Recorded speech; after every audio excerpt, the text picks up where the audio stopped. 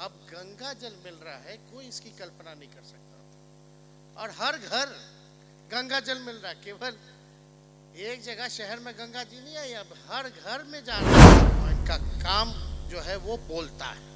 कुछ लोग बकवास करते रहते हैं। कहीं भी दिल्ली में बैठ करके कि ये करेंगे, वो करेंगे। लेकिन आप सोचिए कि अभी फाल्गु नदी का तस्वीर क्या होगा?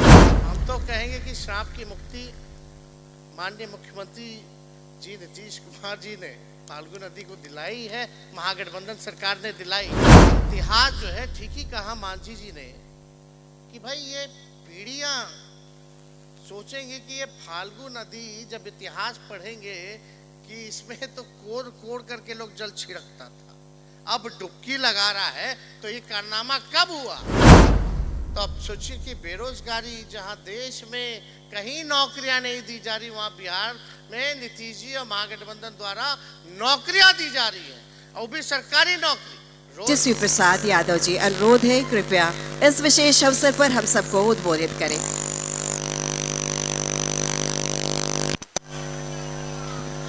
मंच पे उपस्थित बिहार के मुख्यमंत्री आदरणीय श्री नीतीश कुमार जी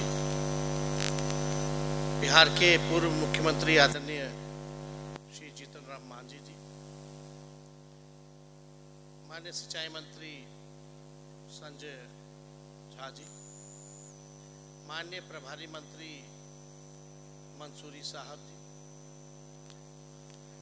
मान्य मंत्री सुरेंद्र यादव जी मान्य मंत्री सरबजीत जी, सभी यहाँ के जनप्रतिनिधिगण, पूर्व विधायक विधायक सभी मान्य अधिकारी, मुख्य सचिव आमिर सुबहानी साहब जी, सिद्धार्थ जी, संजय अग्रवाल जी, संजीव हंस जिला के आईजी एसएसपी डीएम और मेरे मीडिया के मित्रगण,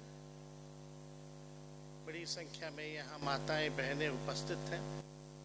हमारे सभी यहाँ अभिभावक मौंग से लेकर के सभी हमारे भाइयों, सबसे पहले आज बोध गया की धरती पर, गया की धरती पर माननीय मुख्यमंत्री जी द्वारा हर घर, गंगा जल पहुँचे, इसकी शुरुआत माननीय मुख्यमंत्री जी के कर कमलों द्वारा हुई है।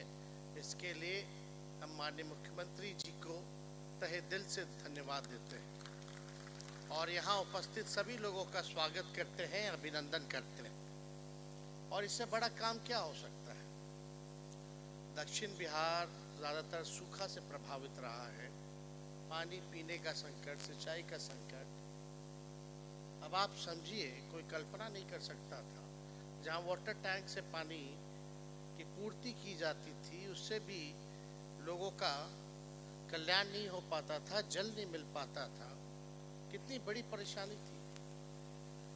और आप कल्पना कीजिए कि आज बोध गया गया, राजगीर जैसे शहरों में अब गंगा जल मिल रहा है, कोई इसकी कल्पना नहीं कर सकता। और हर घर गंगा जल मिल रहा है, केवल एक जगह शहर में गंगा जी नहीं आई, अब हर घर में जा रहा है। जितने हाउस होल्ड है तो इसकी शुरुआत माननीय मुख्यमंत्री जी ने अपने ये अपना परिचय इन्होंने दिया कि इनका विजन है और इनका काम जो है वो बोलता है।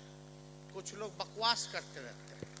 कहीं भी दिल्ली में बैठ करके कि ये करेंगे, वो करेंगे। लेकिन आप सोचिए कि अभी फाल्गु नदी का तस्वीर क्या हो गया।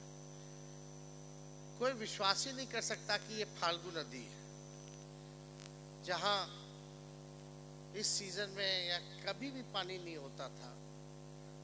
तो हम तो कहते हैं कि सीता जी का श्राप था, उसलिए नहीं हुआ। लेकिन श्राप ज़्यादा दिन नहीं रहता, किसी ना किसी के हाथ से श्राप की, से मुक्ति मिली जाती है। तो हम तो कहेंगे कि श्राप की मुक्ति माननीय मुख्यमंत्री जी नीतीश कुमार जी ने फाल्गु नदी को दिलाई है, महागठबंधन सरकार ने दिलाई है। और ये जो महागठबंधन की सरकार है ये गरीब जनता के लिए है। ये जो सोसाइटी में अपने बैक बेंचर जो है अपने सोसाइटी के, जो समाज के अंतिम पैदान पे जो खड़े लोग हैं, उनको मुख्य धारा में लाने की है। ये गरीबों को आगे बढ़ाने की है। सामाजिक न्याय, धर्मनिरपेक्षता, समाज में अमन, चैन जो है, ये कायम रहे। ये हम लोगों की प्राथमिकता है। अब आप देखिएगा, अस्पतालों की भी स्थिति जो है पहले जर्जर हुआ करती थी, अब जो है कितना बड़ा सुधार हो रहा है। माननीय मुख्यमंत्री जी के नेतृत्व में, चाहे दवा की बात हो, या पढ़ाई की बात हो, या सिंचाई की बात हो, या कमाई की बात हो, या सुनवाई या कार्रवाई की बात हो, हमारी सरकार इनके नेतृत्व में हर एक दिशा में काम कर रही है। कहीं जो है कोई ऐसा चीज़ जो छूटे ना, हर एक चीज़ों का बारीकी से ध्यान दिया जा रहा है। लेकिन आप लोग सब लोग जानते हैं काम जो करता है, उसका प्रचार तो होता है नहीं। जो लोग जुमलेबाजी करते हैं, जो लोग मार्केटिंग करते हैं, उसी का प्रचार प्रसार होता है। लेकिन इतिहास जो है, ठीक ही कहा मांझी जी ने कि भाई ये पीढ़ियाँ सोचेंगे कि ये फाल्गु नदी जब इतिहास पढ़ेंगे कि इसमें तो कोर कोर करके लोग जल छिड़कता था। अब डुबकी लगा रहा है तो ये कारनामा कब हुआ?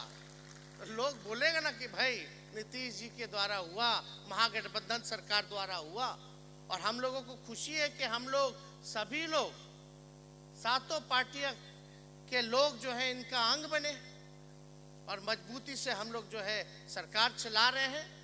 किसी को बोलने का मौका नहीं दे रहे। अब कुछ लोग तो बोलता ही रहता, जंगल राज आ गया। पता है, गंगा जी को ले आया गया, जंगल राज हो गया। लाखों के तादाद में नियुक्तियाँ पत्र बट रही हैं। लोगों को माननीय मुख्यमंत्री जी ने अब घोषणा कर दिया कि अब जो है, हर विभागों में जितना रिक्त पड़ा पद है, उसको बढ़ा ही जाएगा, बल्कि बढ़ाया भी जाएगा, पद भी क्रिएट किया जाएगा। तो सबसे बड़ा दुश्मन तो आपका बेरोजगारी था। तो अब सोचिए कि बेरोजगारी जहाँ देश में कहीं नौकरियाँ नहीं दी जा रही, वहाँ बिहार में नीतीश जी और महागठबंधन द्वारा नौकरियाँ दी जा रही है। और भी सरकारी नौकरी, रोज़गार के भी जो संभावनाएँ है, सरकार जो है हर एक तरीके से देख रही है। तो हम तो इतना ही कहेंगे कि आप लोग जो इस बात को, जो काम हो रहा है, आप लोग कहीं भी जाते हैं या बैठते हैं, ये टूरिस्ट वाला जगह है। जरा बताइए कि कितना काम हो रहा है। हर एक चीज़ और आप लोग सब लोगों से कहेंगे कि बड़े संख्या में यहाँ लोग आते हैं। उनका स्वागत कीजिए, मेहनाम, मेहमान नवाजी कीजिए, ताकि बिहार की छवि जो है पूरे देश में ही नहीं, बल्कि विदेशों में इसका प्रचार प्रसार हो। तो ज़्यादा समय ना लेते हुए आप सब लोगों को तहे दिल से धन्यवाद देते हैं। सिंचाई मंत्री जी को धन्यवाद देते हैं। इनके तमाम अधिकारी को धन्यवाद देते हैं। जितने इसमें इंजीनियर्स कॉन्ट्रैक्टर्स लगे हैं और जितने मजदूर भाई लगे हैं, उन सबको हम धन्यवाद दे के अपनी बात को समाप्त करते हैं। जय हिंद, जय बिहार। बहुत